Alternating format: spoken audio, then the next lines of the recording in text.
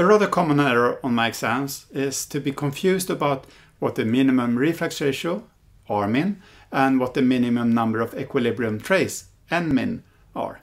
Rmin and Nmin are two very important characteristics to consider when designing a distillation column. Two extremes.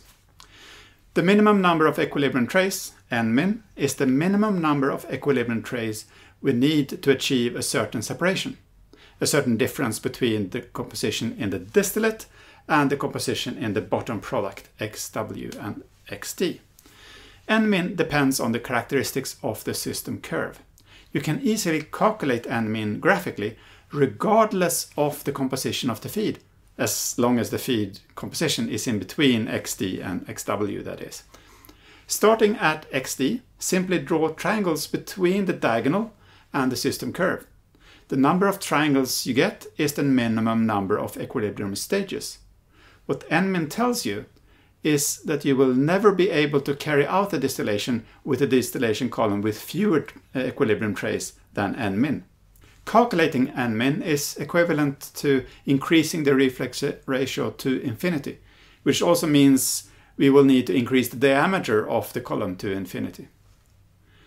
The minimum reflux ratio, Rmin, is the lowest possible reflux ratio, R equals L0 divided by D, for which it's theoretically possible to achieve a certain separation. At the minimum reflux ratio, you will need an infinite number of equilibrium trays to carry out the separation. Rmin is dependent not only on the characteristics of the system curve and the required composition in the distillate, but also on the composition in the feed and the state of the feed. As we decrease the reflux ratio in design calculations, the required number of equilibrium trays increase. But we can't decrease the reflux ratio infinitely. There is a point at which the required number of equilibrium trays rapidly increases to infinity.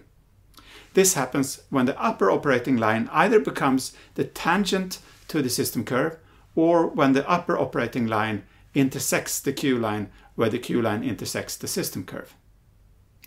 I sometimes see students trying to calculate the number of equilibrium trays in such graphs, but that is nonsense. If the operating line intersects the system curve or is the tangent to the system curve in a point, you can never pass that point, no matter how many triangles you draw in your diagram. The closer you come to the point, the smaller the triangles get, and there is no end to that rabbit hole you can continue to zoom in and zoom in and zoom in and draw even smaller triangles for infinity.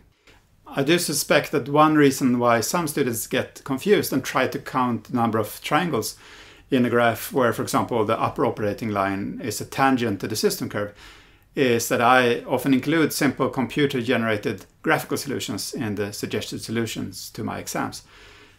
But the number of equilibrium trays shown uh, in my simple program here is not important. It's just a result of me giving up and saying, hey, this is close enough. The minimum reflux ratio is approximately this value.